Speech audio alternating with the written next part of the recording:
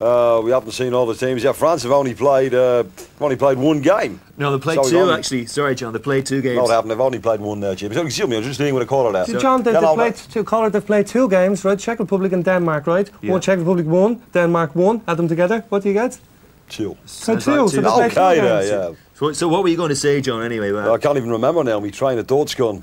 Yeah, were you going to say that uh, there's no point watching football anyway because it's all just so negative and defenders should be put in jail? No, were you going to say it's too early to judge France until they win the tournament? In which case, you'll say they're good. no, no. I wasn't going to say that. Yeah, were, were you going to say what's the point in doing anything because it's only going to be bad in anyway?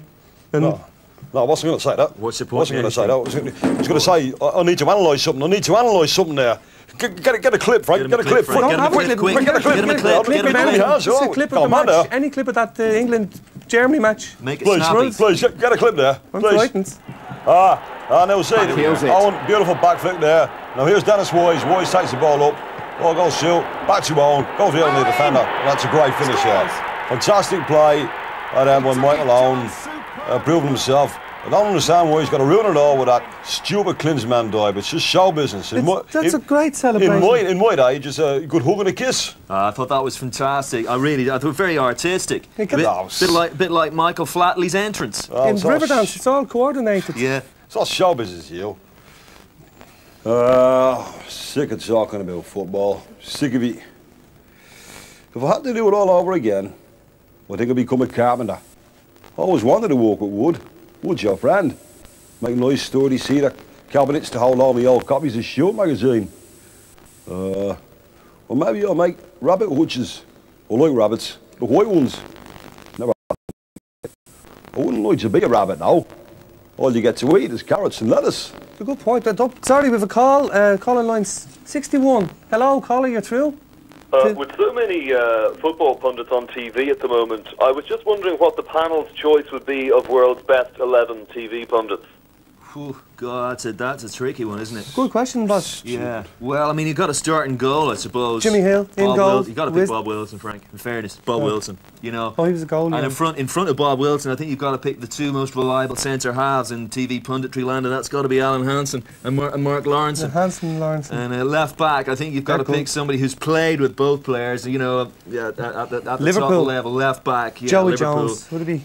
Now, uh, Well, I think you know you could go with somebody who's a bit more recent than that. uh, Uh, Barry Venison Barry Venison, very Yeah, good, yeah. Venison, yeah. He's on the other channel, isn't he?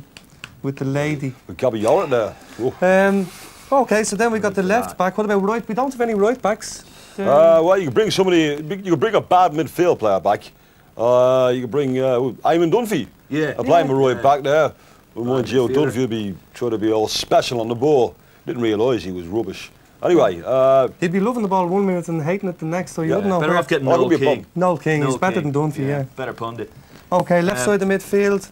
John Barnes, at least he might stop talking. Yeah, John Barnes. Put him in left John side of Barnes.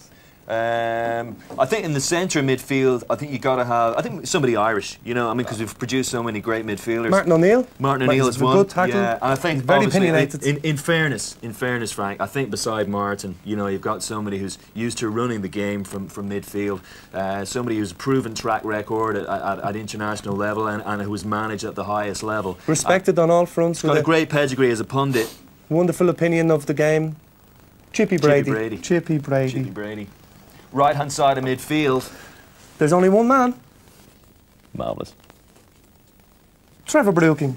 So, Trevor Brooking. So up front, I think uh, well, you've got to have Gary Lineker. Obviously, you've got to have Gary Lineker. And up front again, beside Gary, I think you've got to have somebody See, who runs have- off him. Like, so Lineker can run off him. Someone who can flick the ball on, Lineker can make the runs. Yeah, Somebody's maybe played at the- somebody, somebody's very good in the air. Somebody Yeah. again who's played at the highest level. a record holder Record at international level. At international yeah, level. pl- played, played in uh, London and Manchester there. Yeah, yeah, yeah, yeah. yeah. Noel Quinn. Yeah, Niall Quinn. It's got to be Niall Quinn.